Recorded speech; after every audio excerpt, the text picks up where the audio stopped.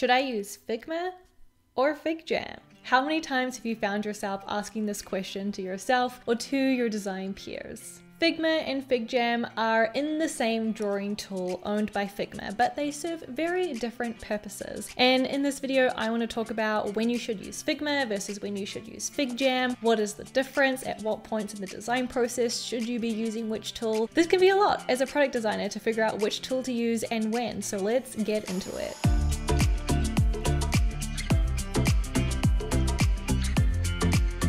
First, let's start by defining the difference between Figma and FigJam.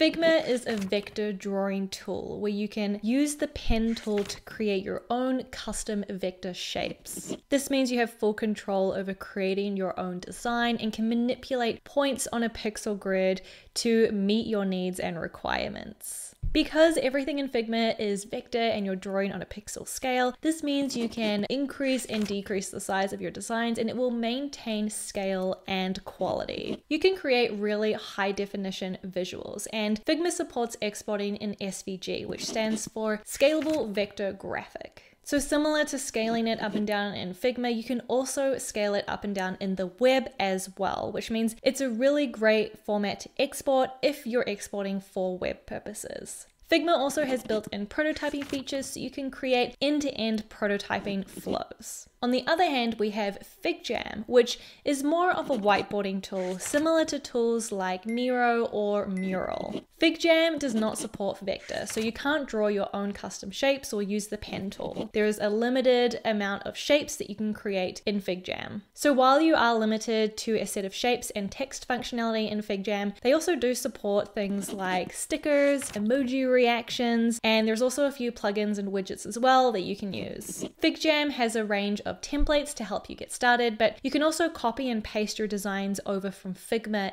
into FigJam, but they will be pasted as a flattened image. So you won't be able to see the sort of individual layers or vectors that make up that design. Now, both of these tools have commenting and collaboration features because it's all kind of built in the browser. So everything is live and in real time. So when should you use which tool? Because they're kind of similar, but I think their key differences make them have very different purposes and each can shine at different parts of the design process. So in order to determine which tool to use when and for what, let's take a look at the double diamond design process. I recently did a video diving all into the double diamond, so let's just look at it from a high level here. There's two diamonds, and the first diamond is really about discovery work and exploration, and the second diamond is more focused on refinement, polish, and handoff.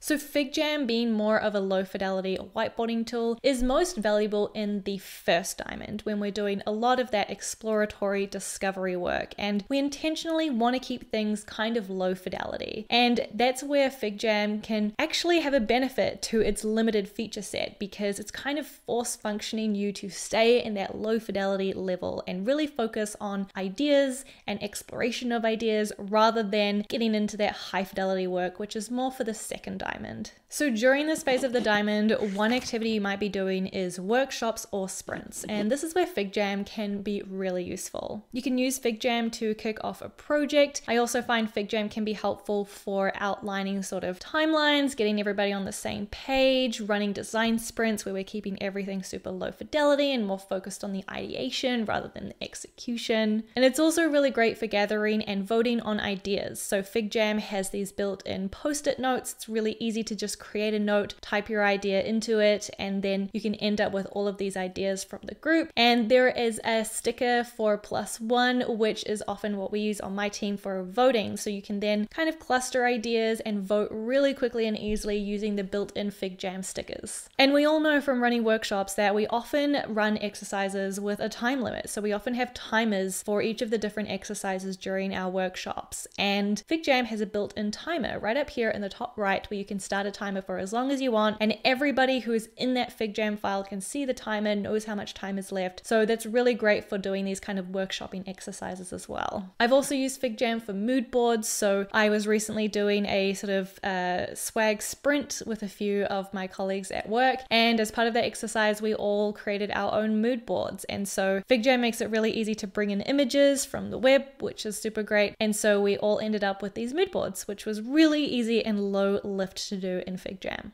Another thing you might be doing in this phase of the diamond is research. And I do find FigJam can be really great for synthesizing research. So maybe you want to bring in quotes that you got from users during user testing or insights that you learned, cluster those into themes. Again, the post it notes are really, really useful here. Maybe you want to put things on like a matrix or some sort of grid or like organize the information in some way. FigJam is great with its sort of like infinite canvas. You don't have to create artboards or anything to put things on. There is no like additional pages, so everything is kind of there in this one infinite canvas. And for things like synthesizing research in a collaborative way, I think FigJam really excels here because it has those built-in post-it notes and it's super easy to cluster things. Another thing you might be doing as a designer is creating functional flows. So, what I mean by this is not necessarily creating these high fidelity final screens as flows, but maybe you're just trying to sort out like how this feature is actually going to work and what is the different logic and the, the different functionality that this experience needs to support. FigJam is just much easier to get started because it has all the built in shapes, the built in flows, and arrows that you need to create your final flow. So, I highly recommend FigJam for this kind of exercise. Doing it in FigJam at this level of fidelity also helps you be more focused on the functional part of your flow rather than getting kind of caught up in the wireframes and visuals that we might start to get into when we get into Figma. Keeping it at this level of fidelity is also really helpful when you do have that logic in your flows, like decision trees or yes nos. I know from experience doing this in Figma, my flows can like totally blow up and my arrows get all disconnected and it's really hard to organize that information. So that's why FigJam I think is better for this exercise. As we move into the second diamond diamond, this is where Figma really starts to excel. Often during this part of the diamond, we are getting more into that high fidelity stage of our work and we're starting to refine our designs, maybe even create a few prototypes at this stage. So, this is where Figma really excels. As you're designing screens, you're gonna wanna have access to those robust drawing and vector drawing capabilities so you can create your own custom shapes and really manipulate the design to look exactly how you want it. So, anytime you need to create screens of some sort, whether it's low fidelity wireframes or high fidelity final mocks, this is when you're going to want to use Figma.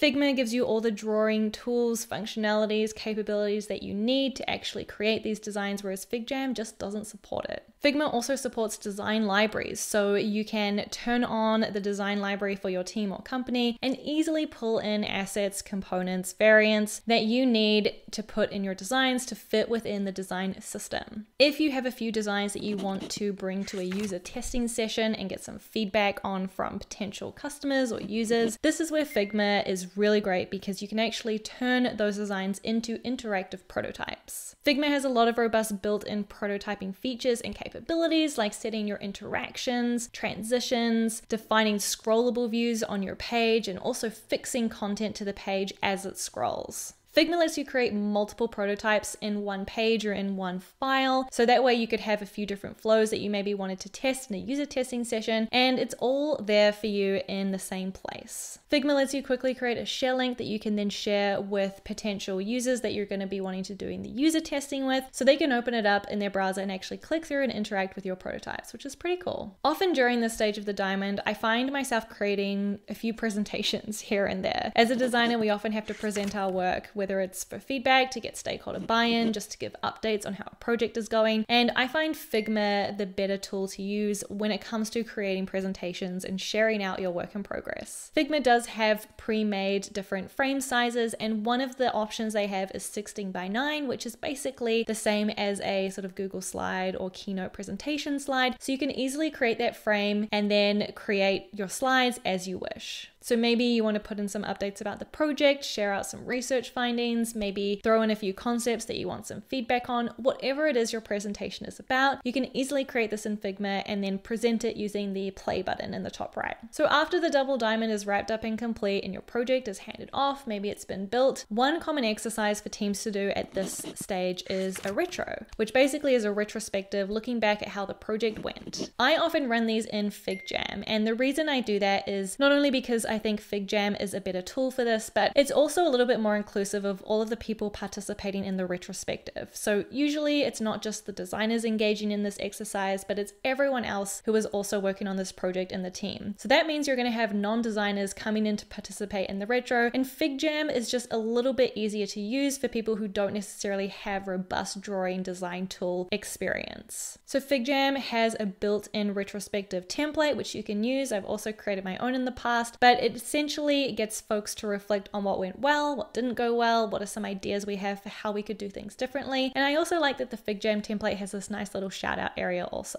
So usually I'll set the timer for some silent post-it note time and then we'll cluster ideas, vote, have a discussion, and just generally talk about how the project went. FigJam can also be used for things that are completely outside of the design process and not related to design. Maybe you want to do a fun cultural team exercise or an icebreaker. And I think FigJam is a really great tool for that because it's low lift and super accessible by everyone. For example, when I started my new job last year, one of my sort of onboarding exercises was to create this Meet Me FigJam where I answered a couple of questions about how I like to work and why I joined the company, along with adding some personal photos and things about me outside of of work. And this is a ritual we have for every new team member who joins the team. We've also used FigJam as an icebreaker during big team meetings. Uh, recently, one of the managers created this like funky faces exercise where we all had to contribute to drawing a feature in one box before moving to the next box. And then you ended up with the, all of these really cool funky faces. Again, totally not part of the design process, but just a really fun team social exercise. So I think FigJam has a lot of fun potential for things like this too. Okay, so hopefully now you have a little bit more clarity on the functionality and the capability of these two tools. I use both at different moments in the design process. And also, I just want to note that, like, this is just my opinion, and you could totally use Figma to do some of the things that I mentioned I do in FigJam. I think it would be a little bit more difficult to try to do some of the Figma work in FigJam because it doesn't support that high fidelity feature set that we often need to create those polished designs. But they're both great tools. I have a lot of fun using both of them. And let me know if there is something you use Figma or FigJam for that that I didn't capture in this video. I'd love to hear how you're using it on this team. And I'm sure others watching this video would like to see as well so that they have some inspiration to bring back to their team. So thanks for watching. Have a great day. See you next time. Bye.